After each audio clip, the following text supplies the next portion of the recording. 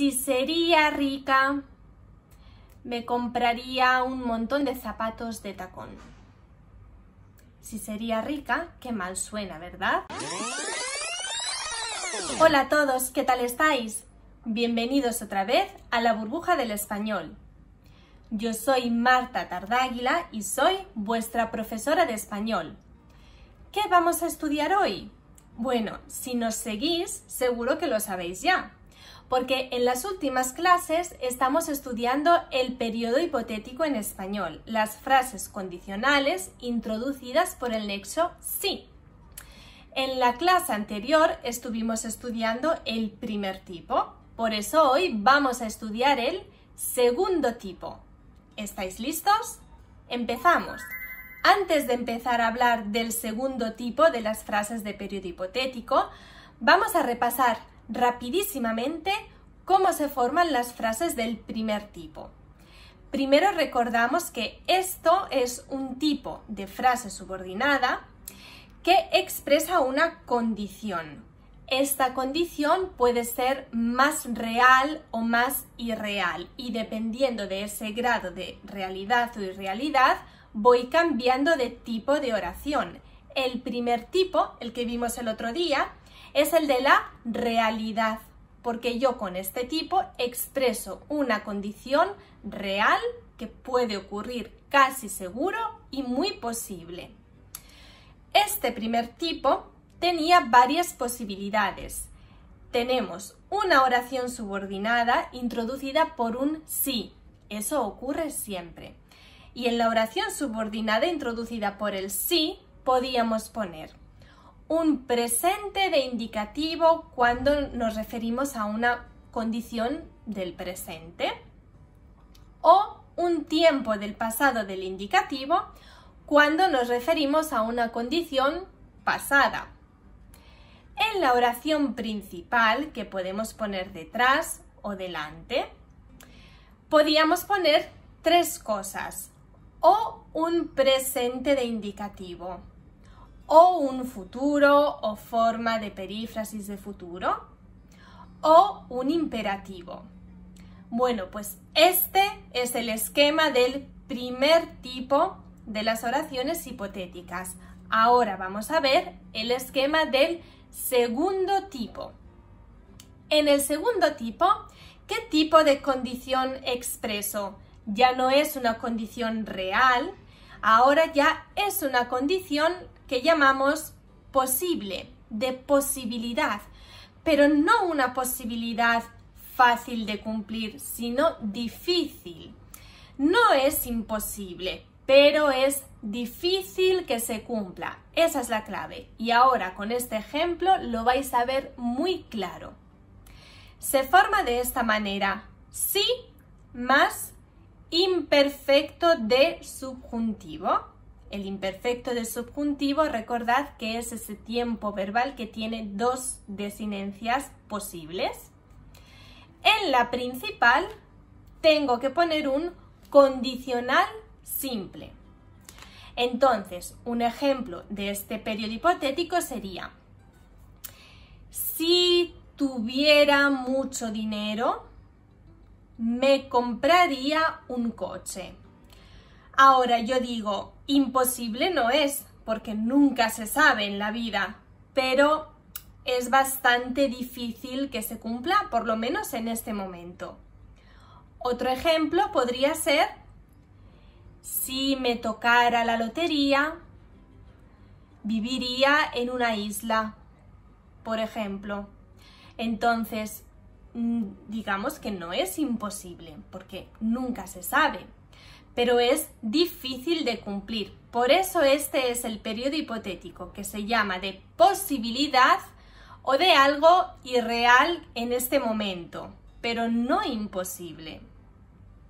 Bueno, hemos dicho que se forma con el sí más el imperfecto del subjuntivo en la subordinada.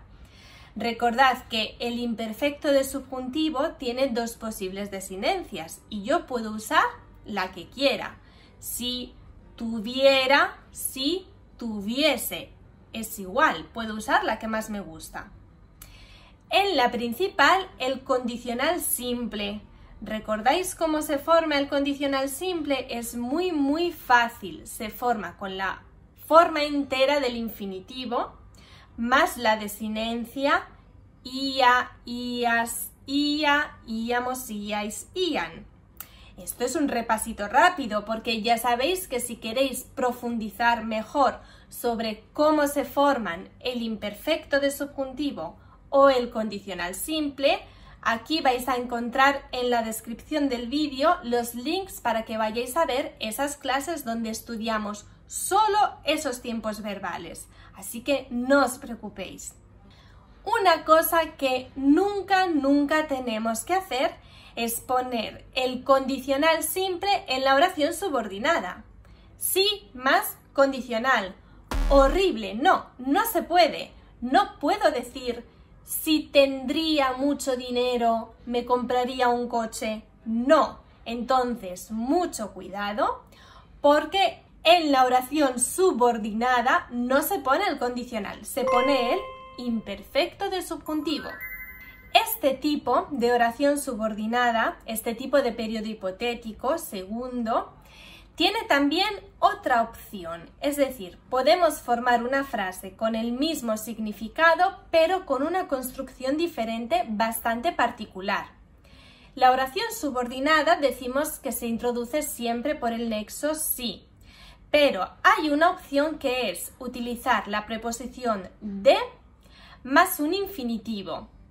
Y en este caso es como sustituir el nexo sí más el imperfecto de subjuntivo.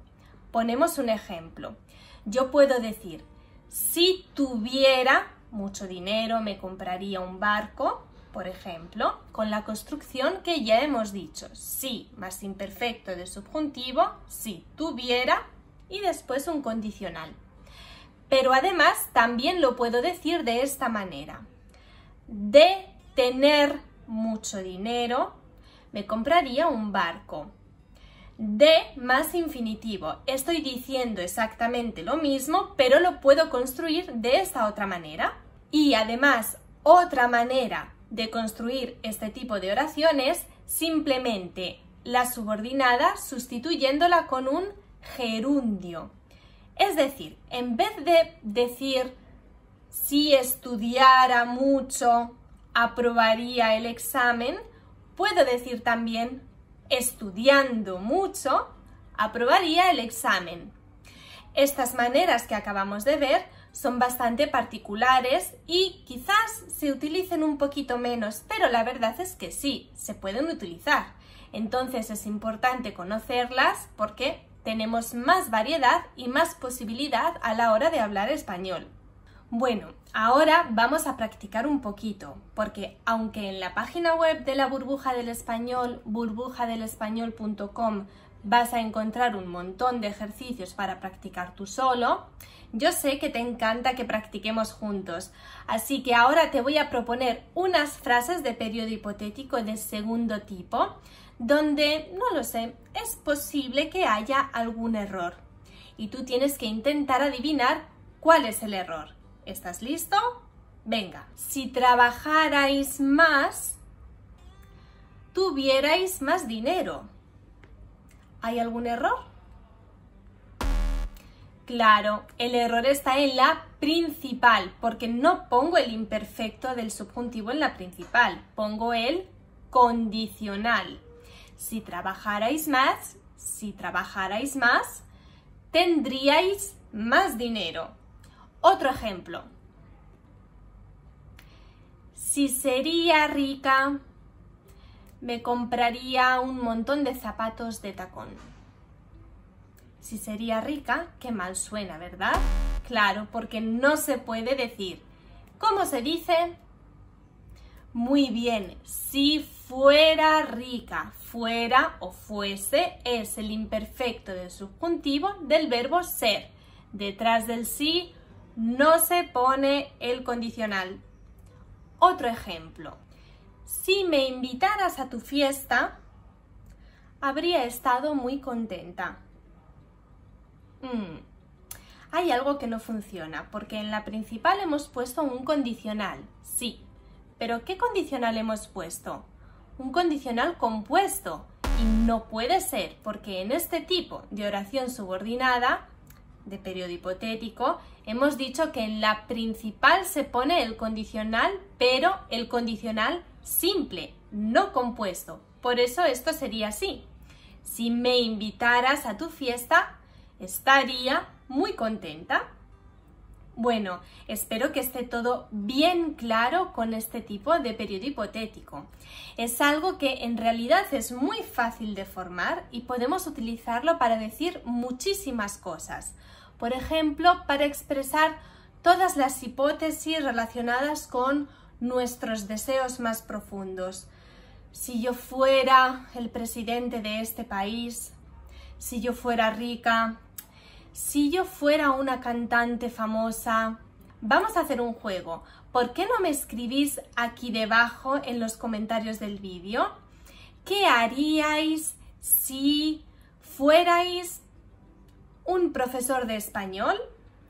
¿Qué haríais si fuerais una persona súper famosa? ¿Y qué haríais si fuerais el presidente de vuestro país? Escribidme aquí la respuesta utilizando, claro, un periodo hipotético de segundo tipo, para practicar un poquito. Bueno, esto es todo por hoy. Nos vemos en la siguiente clase de la burbuja del español. Ya sabéis que tenéis que estar atentos a las novedades para no perderos el próximo vídeo en el que vamos a hablar del periodo hipotético de tercer tipo que también es muy muy importante y súper útil, así que no os lo perdáis. Hasta pronto. Uh, uh, uh,